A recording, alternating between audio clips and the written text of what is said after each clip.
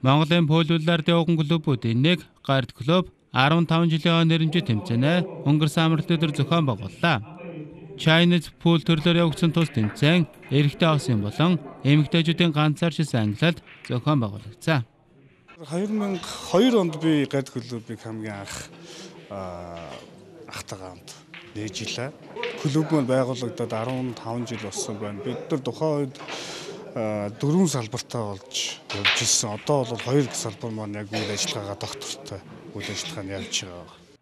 2002 оноос үйл ажиллагаагаа явуулж эхэлсэн гард клубын нэрэмжэд тэмцээний эрэгтэй хосын төрөлд 32 багийн 64 эрэгтэй тамирчин оролцсноос аваргын төлөө спортын мастер дэлгэрхүү залуу тамирчин сүх төмөр нарын эсрэг гард клубын залуу тамирчид болох шир өвдөрж Батбаатар нар өрсөлдөж 5-1 харьцаагаагаар спортын мастер дэлгэрхүү аглагч табаг алтан медалийг хүртлээ. Ер нь тэмцээн маш өрсөлдөөнтэй байлаа. Ер нь сул баг гэж байхгүй бүх хүм бүх багуудлаа ерөнхийдөө жигд сайн тийм форумтой хүн тийм тамирчид бол ерөнхийдөө бол бэлтгэл сайтай байлаа. Тэгээд авхад самбаа ерөнхийдөө сайн тоглосноо чинь төрүүллээ. Ер нь бол тамирчид бол бүгд чигд сайн. Эхний хоёр өрсөлдөгч маань ерөнхийдөө бас зооноос гарсны дараа тоглолт эвгүй тоглолтын дээрээс хойноос нь нэхэж хөөж хожоод хожоод. Ер нь тэр тоглолт хоёр тоглолт маань жоох хэцүү байл. Харин мөнгөн медалийг гард клубын залуу тамирчид болох Ширээвдорж Батбаатар нар зүүсэн бол хөрөл медалийг олон улсын бинмастер дорцрон залуу тамирчин шинэ хоёрын баг мөн залуу тамирчин Жансранжав лавг доржнаар хүрсэн байна.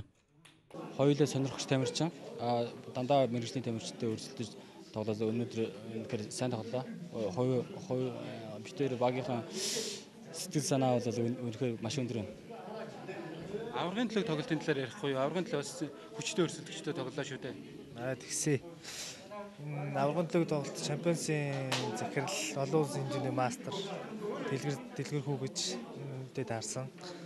Тэгээд ажиллах чадхаараа л тоглолоо эмэгтэйчүүдийн ганцааршилсан ангилалд 13 тамирчин өрсөлдснөөс Shine клубын тамирчин Пол Билардын олон улсын хэмжээний мастер уянг төрүүлсэн бол Champions клубын залуу тамирчин ган орхон мөнгөн медалийг зүүжээ. Харин хөрөл медалийг залуу тамирчин лавг цэрэн хүртсэн байна төрүүлэхийг төрүүлэх зорилготой орж ирсэн. Тэгээд зорилгоо ер нь бол 100% биелүүлж чадлаа гэж бодож байна. Өрсөлдөгч тамирчдын маань өрсөлдөөн хэр байв? За мэдээж манай өрсөлдөгч тамирчид маань эмэгтэйчүүд маань маш сайн байлаа. Маш одоо чанга өрсөлдөгч нар бол олон байлаа.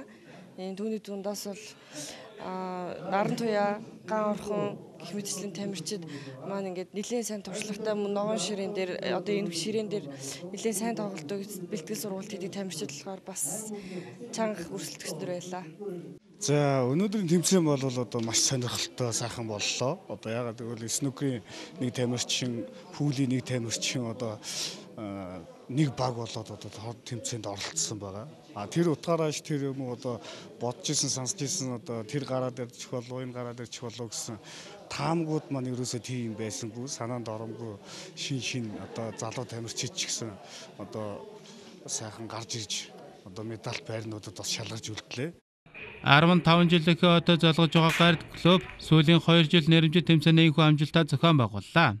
Энэ удаагийн тэмцээний ерөнхий ивент идэвхжээр TL Motors компани ажилласан байна.